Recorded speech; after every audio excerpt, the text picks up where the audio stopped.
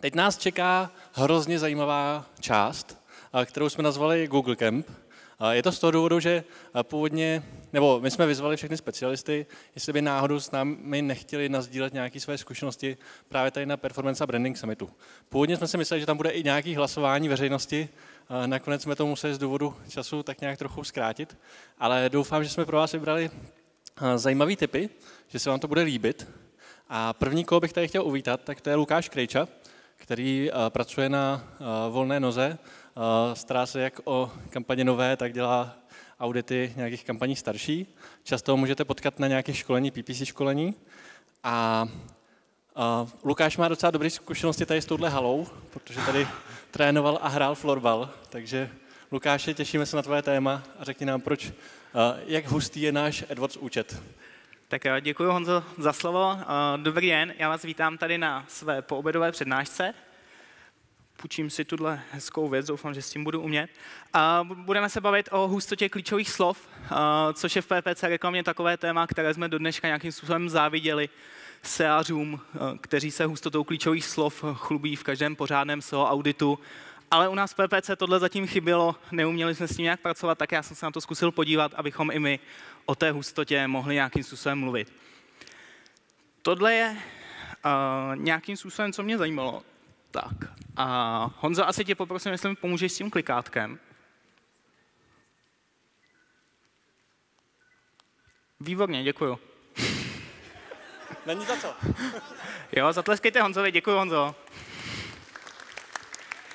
Tak, já jsem totiž zjistil, že v, Velmi často se setkáváme s nějakou radou eh, vůči klientům. Eh, přidejte do svých účtů více klíčových slov, přidejte víc kombinací klíčových slov, tvořte třeba automatické kampaně, takže zkombinujete název produktu se slovem akce, sleva, výprodej a tak dále. Tohle velmi často se těm klientům radí a přitom ale v našich účtech je spousta klíčových slov, která jsou naprosto zbytečná. A já jsem se pokusil přijít s něčím, co mě na tohle může upozornit. A to něco to něco uh, za mě je takzvaný hustoindex, což je věc, kterou vysvětlím během této, uh, během této prezentace. Podíval jsem se na devět různých uh, PPC účtů, kde bylo zhruba 200 tisíc klíčových slov ve čtyřech různých jazycích. Byly to jak e-shopové kampaně, tak klasické firmní kampaně, Vzal jsem si nějaká data za mm, posledních 12 měsíců a zkusil jsem si spočítat, kolik těch klíčových slov mi tam vlastně nějakým způsobem funguje a co mi něco přináší.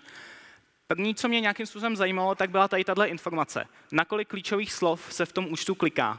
Uh, už to číslo zaznělo dneska v první prezentaci. Schválně, kdo z uh, vás poslouchal a to číslo si pamatuje. Zkuste ho někdo zakřičet tak tady to zaznělo přibližně, jinak byste tady vůbec neposlouchali tu první prezentaci. A bylo to zhruba těch 7%. To znamená, na 7% z těch klíčových slov, které já mám v účtu, se za těch 12 měsíců alespoň jednou kliklo.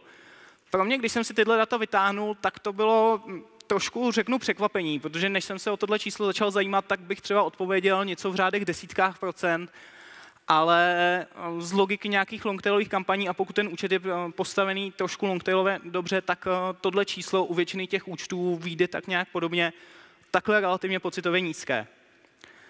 Když se podíváme tady na tuhle tabulku, tak vidíte, že uh, opravdu uh, nějakých 93% klíčových slov za tu dobu nezíská ani jedno kliknutí. To znamená, nám v tom účtu, uh, někdo by mohl říct, že tam až trošku překáží, zdržují třeba stahování do AdWords editoru a něco takového, uh, i když to nemusí být úplně špatně. Každopádně 93% klíčových slov leží v tom účtu, aniž by na ně někdo někdy kliknul.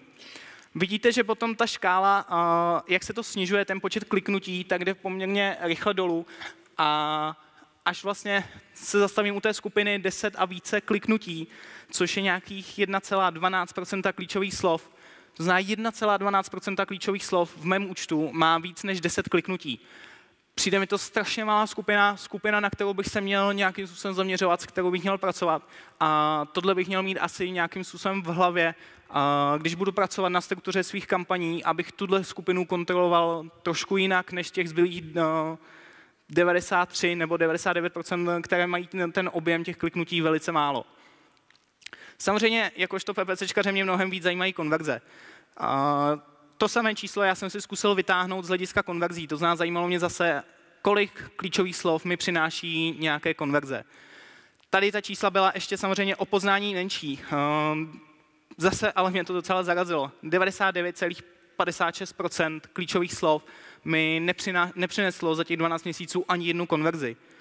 To znamená 99,56% klíčových slov v tom účtu nedělá to, co já od nich chci, protože zpravidla prostě od nich ty konverze chci. Zase platí, že ten počet konverzí se postupně velmi rychle snižuje a ten objem klíčových slov, které ty konverze přináší, tak se hodně rychle snižuje. A když se podíváme zase na ten poslední řádek, skupinu klíčových slov, která přináší víc než 10 konverzí, tak to je skupina což je nějakých 0,0181% klíčových slov. A tohle jsou ta klíčová slova, která mě zajímají úplně nejvíc. Tyhle klíčové slova já bych si měl umět označit, eh, dát si do vlastní kampaně, označit si je štítkem.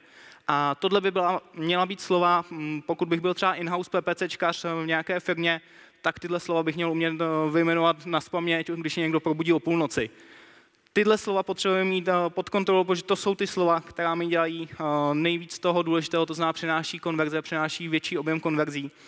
Zatímco prostě je tam pak obrovské množství slov, kterými já možná při optimalizaci ztrácím čas, ale, uh, nebo mi zabírají nějaký prostě prostor, jak se jim věnovat, ale nepřináší mi to, co já bych od nich nějakým způsobem potřeboval. Abychom mohli říct, jak hustý je ten váš AdWords účet, tak eh, jak jsem říkal, nějaké to řešení toho je eh, ten Husto Index.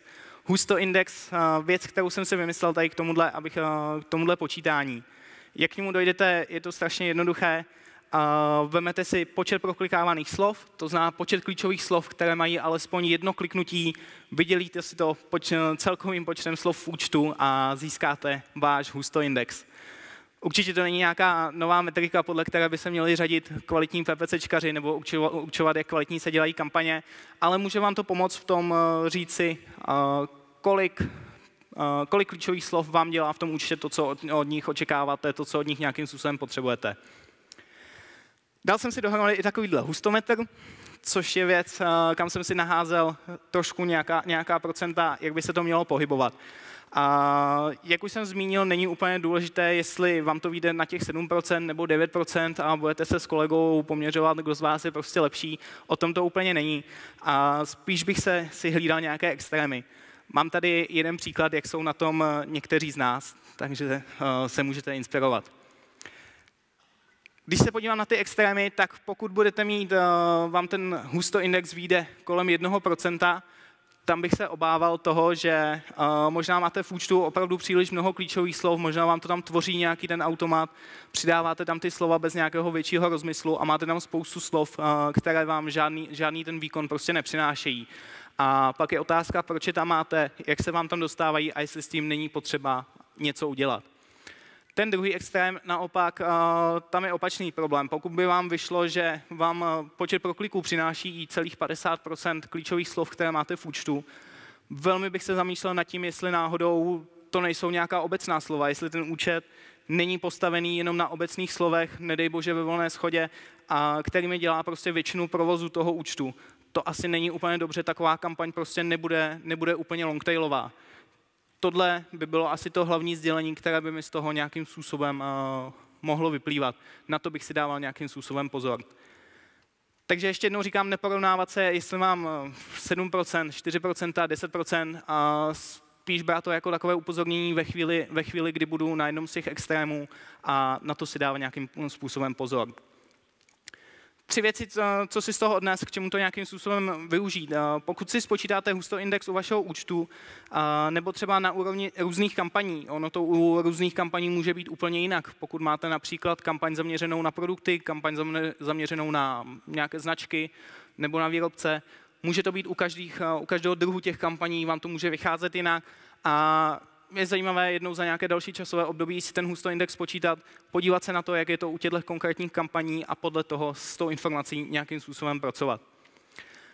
Zajímajte se určitě především o to půl procento klíčových slov, eh, které vám ty konverze přináší. Jak jsem říkal, ať už pomocí štítků, pomocí vlastní kampaně. Určitě nechcete, aby tohle půl procento klíčových slov eh, vám omezovaly eh, jiná klíčová slova, která vám ty konverze nepřináší Takže s tímhle je potřeba nějakým způsobem pracovat, tyhle slova si hlídat, aby, abyste oni nepřicházeli, abyste nepřicházeli o ty svoje uh, konverze.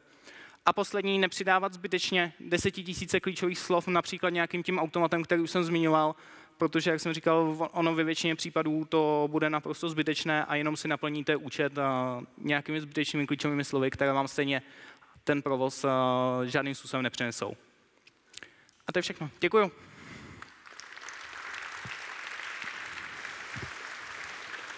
Já moc děkuji Lukáši za prezentaci. Mě to hrozně zaujalo ty čísla, co jsi říkal. Když vlastně počítám, že bych měl nějaký účet, který má 100 000 klíčových slov, tak vlastně jenom dva, nebo nějakých 18% z nich má 10 a víc konverzí. To už stojí za to se na tím zamyslet, jestli náhodou si nemám vytáhnout nějaký klíčový slova bokem a nějak se o ně opečovat, nějak je opečovávat. děláš to nějak tak? To je asi jedna z těch messagí, co jsem se snažil předat.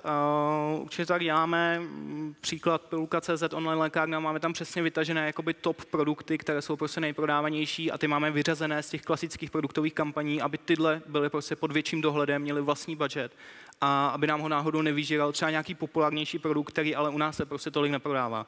Takže tohle se snažíme hlídat prostě tou vlastní kampaní. Druhou možností jsou prostě štítky, podle mě.